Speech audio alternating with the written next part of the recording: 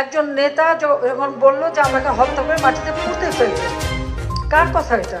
আমেরিকায় আমার ছেলে, তাকে কিডন্যাপ করার জন্য। এফবিআই লোক হায়ার করলে কত টাকা তারা ক্ষমতায় থেকে বানিয়েছে, একবার চিন্তা করে দেখেন।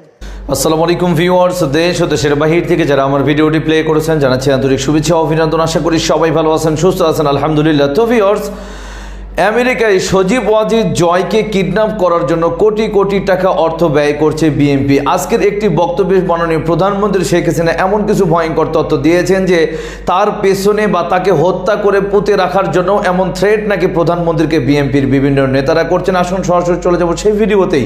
যাওয়ার আগে ছোট্ট একটা রিকোয়েস্ট করব যারা এখনও চ্যানেলটি সাবস্ক্রাইব করেনি নিয়মিত দেশের সকল আপডেট সবার আগে জানতে অবশ্যই চ্যানেলটি সাবস্ক্রাইব করে পাশে রাখবেন তো ভিওর্স আসুন স্ক্রিনে একজন নেতা যখন বলল যে আমাকে হত্যা করে মাটিতে পুঁতে ফেলবে, কার কথা এটা? আমেরিকায় আমার ছেলে, তাকে কিডন্যাপ করার জন্য। এফবিআই লোক হায়ার করলে কত টাকা তারা ক্ষমতায় থেকে বানিয়েছে, একবার চিন্তা করে দেখেন। আমাদের দেশের সম্পদ গ্যাস, তাই বিক্রি করার মুচলেখা দিয়ে দেশের সম্পদ ধ্বংস করে। যে যে গ্যাস ফিল্ড আমার বাবা ক্রয় করে দিয়ে গেছেন, বঙ্গবন্ধু শেখ মুজিব যে গ্যাস ফিল্ড নগদ টাকা দিয়ে কিনে বাংলাদেশের মানুষকে তার মালিক করে দিয়ে গিয়েছিলেন আর খালেদা জিয়া সেটা বেচার অঙ্গীকার করে তারপরে সে ক্ষমতায় আসে। আমি তো আমি তো রাজি হইনি। আর রাজি হইনি বলে আমি আসতে পারিনি। সেটা একটা চক্রান্ত ছিল। আমরা ভোট বেশি পেয়েছি, অথচ আমরা সরকার গঠন করতে পারি নাই। কিন্তু দেশের সম্পদ বেঁচে ক্ষমতার লোভ, এটা তো আমাদের নাই। আমরা তো তা চাইনি। পহেলা অক্টোবর নির্বাচন। এই নির্বাচন আগে থেকে যে অত্যাচার নির্যাতন শুরু করল এদেশে, পঞ্চাশ হাজারের উপর মেয়েদেরকে ওই পয়লা অক্টোবর নির্বাচনের পর রেপ করেছে এই বিএনপি, গ্যাং রেপ করেছে। জবাব দিতে পারবে বিএনপি, খালেদা জিয়া বা তার দল? ছোট্ট ছয় বছরের রাজুফা কি অন্যায় করেছিল। তার স্ত্রী অঙ্গ ব্লেড দিয়ে কেটে তাকে গ্যাং রেপ করা হয়। সে অসুস্থ ছিল তাকে আমি ঢাকা মেডিকেল কলেজে নিয়ে এসে চিকিৎসা করাই। কি অন্যায় করেছিল ফাহিমা মহিমা আহ, পূর্ণিমা? সুইসাইড করে তারা নিজের জীবন বাঁচিয়েছিল। রুমা খুলনার তাকে ওই বিএনপির এক নেতা এখনও আছে তারই ক্যাডাররা তুলে আনতে গিয়েছিল। ও ছুটে ঘরে যে ফ্যানের সাথে ওড়না বেঁধে আত্মহত্যা করে। ফাহিমা আত্মহত্যা করেছিল। মহিমা, এরা সবই তো। এইভাবেই তো তারা জীবন দিয়ে দিয়েছে নিজের ইজ্জত বাঁচাতে।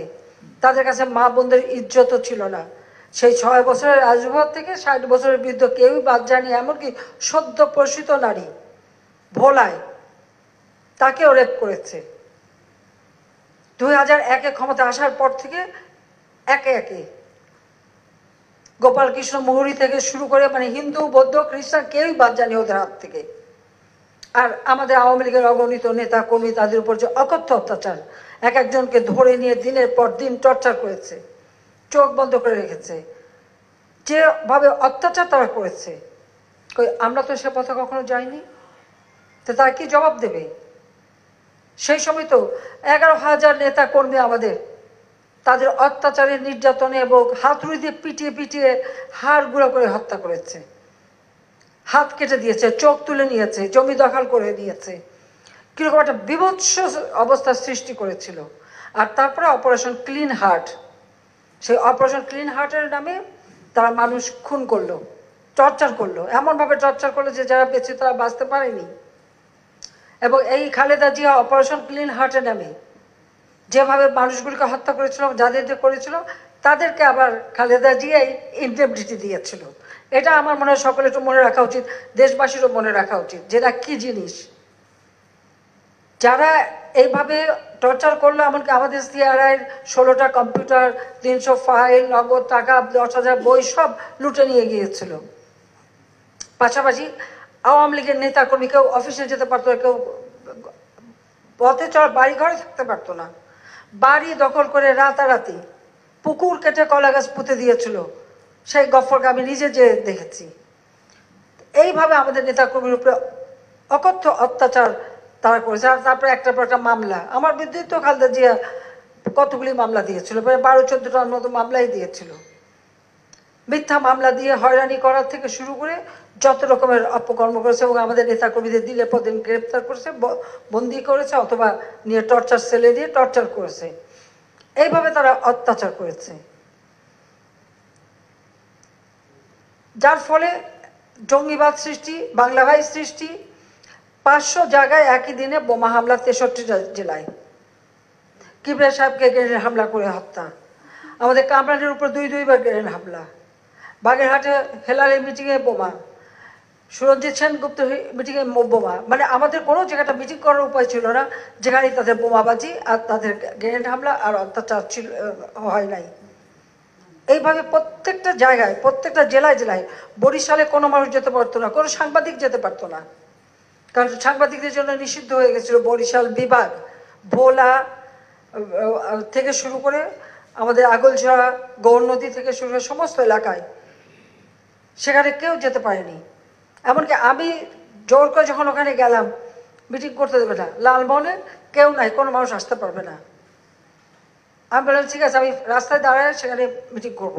গৌর নদীতে আমার গাড়ি আটকালো। এমনকি আমাদের যে সাবেক প্রেসিডেন্ট হামিদ সাহেব গিয়েছিলেন বরিশাল, তার উপরে বোমা হামলা, তার গাড়িতে আক্রমণ। গফর গায়ে আমাকে হাত দেখাল বলে সেই একজন মুসল্লি তার কাঁচা দাড়ি টেনে টেনে ছিঁড়ে তাকে অত্যাচার করেছে। তো এইরকম সারা বাংলাদেশে তারা অত্যাচার এবং হত্যাকাণ্ড ঘটিয়েছে। একুশে আগস্ট গ্রেনেড হামলায় আমাদের বহু পার্লামেন্ট মেম্বার এবং অনেকে তো আহত ছিল আর আইবি রহমান শত বাইশ জন নেতাকর্মী মারা গেল।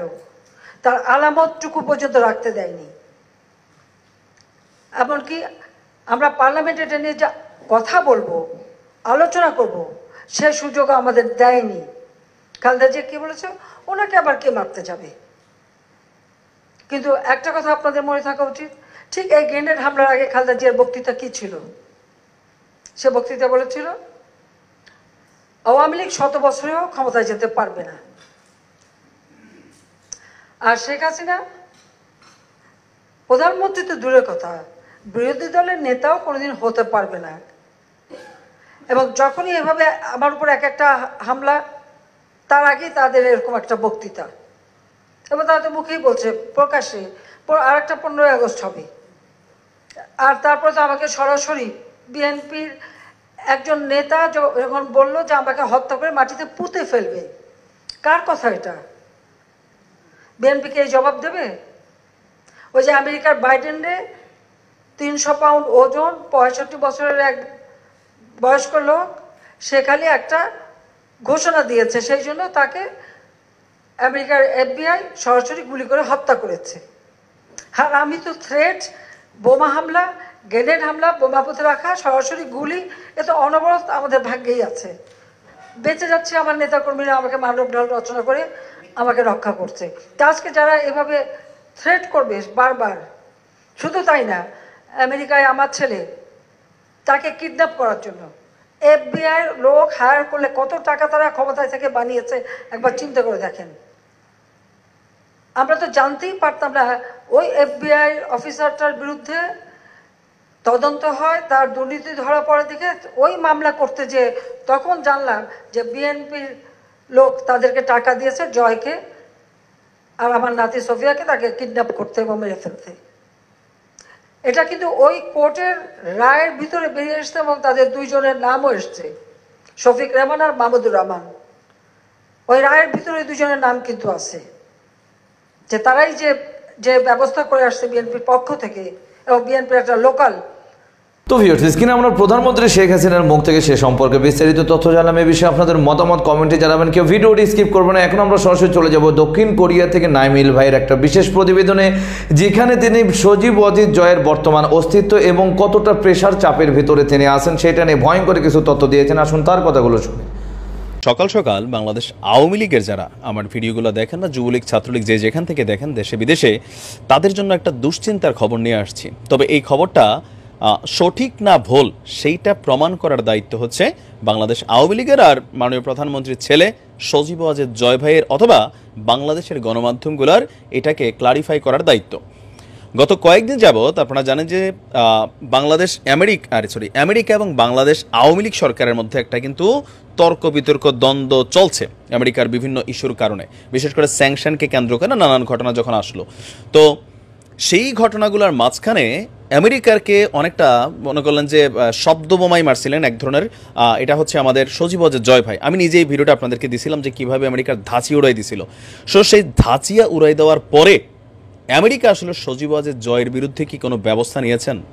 আমরা গত কয়েকদিন যাবৎ সোশ্যাল মিডিয়াতে অনেক বড় বড় সাংবাদিক যারা আছেন, সাংবাদিক ইলিয়াস হোসেন, তারপর কনক সারোয়ার সহ আরও অনেকেই যারা আছেন এই মানে কি বলা হয় যে, তাদের যে তথ্যগুলো বা তাদের যে বক্তব্যগুলো, সেখান থেকে স্পষ্ট একটা বার্তা আসছে আমজনতার কাছে যে, এই ঘটনার পর সজীব ওয়াজের জয় তিনি আমেরিকায় ঢুকতে পারছেন না।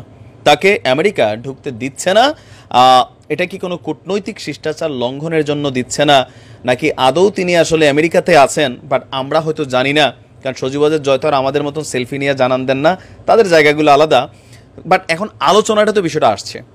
এখন আমজনতা যারা আছে, যেমন আমিও এই ঘটনাটা শোনার পরে বা এই নিউজটা তো দেখি, আমরা সবাই নিউজই তা আমি বাংলাদেশের গণমাধ্যমেতে এই নিউজ পাই নাই। প্রতিদিন তো আমি তিরিশ চল্লিশটা নিউজ পেপার ঘাটি। আপনাদের জন্য যেহেতু নিউজ করি, আন্তর্জাতিক নিউজ পেপার ঘাটি, তো আমি আমেরিকার যে কয়েকটা শক্তিশালী গণমাধ্যম আছে নিউ ইয়র্ক টাইমস ওয়াশিংটন বা আরও যে বেশ কিছু যুক্তরাজ্যের আছে রয়টার্স গার্ডিয়ান বিবিসি তো ওইখানে আসলে আমি ফ্রন্ট বা লিডিং হেডলাইনে এমন কোনো নিউজ আমার চোখে পড়ে নাই যে সজীব ওয়াজেদ জয়ের ওই বক্তব্যের জের ধরে আমেরিকা কোনো পানিশমেন্ট দিয়েছে, অথবা কোনো ব্যবস্থা নিয়েছে। তো তারপরেও যখন আবার বড় মাপের সাংবাদিক যারা আছেন, তারা আবার যখন বলছেন যে আমেরিকাতে তো তারা থাকেন, স্বাভাবিক, যার কারণে মানুষের মধ্যে একটু কনফিউশন তৈরি হয়। আমিও কনফিউশনে আছি যে এমনও বলা হচ্ছে যে তিনি দুবাই বা আরব কোনো রাষ্ট্রে আছেন, এই মুহূর্তে আমেরিকাতে নাই। এখন অনেক সময় তারা সফরের উদ্দেশ্যে যান ওই রকম কি আমেরিকার বাইরে আছেন নাকি না? আসলে বক্তব্যের পরে ওনাকে আর আমেরিকা ঢুকতে দেওয়া হচ্ছে না, যেটা হয়তো বাংলাদেশের মিডিয়া জানান দিচ্ছে না এমনভাবে কিন্তু খবরগুলো সামনে আসছে। সো এই জায়গাটাতে আরও একটু ঘটনা জমছে কোথায়? এবার যখন আমাদের মাননীয় প্রধানমন্ত্রী আমেরিকাতে গেলেন, সেখানে তিনি বেশ কয়েকটা মিটিং করলেন মানে যেগুলো সরকারি পর্যায়ের বাহিরের কিছু জিনিস, যেগুলোতে সজীব জয় অ্যালাউ ছিল। তো এইবারও ওনার আমেরিকার সফরের কোনো ছবিতে আমার আসলে চোখে পড়ে নাই যে সজীব ওয়াজেদ জয় উপস্থিত আছেন। যেহেতু তিনি আমেরিকাতে থাকেন আর ওনার মা সেখানে গেছেন, সেখানে তিনি থাকাটা খুব স্বাভাবিক ছিল।